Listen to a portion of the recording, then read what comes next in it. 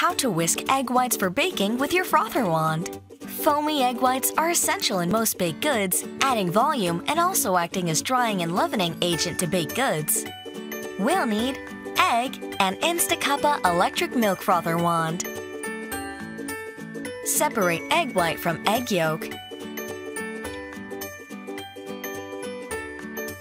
In a bowl, froth the egg white.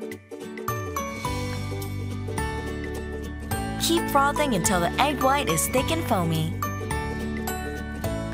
Once desired foam is reached, you can go ahead and use it on any baked good ingredients. You can actually make good cakes with using foamy egg whites.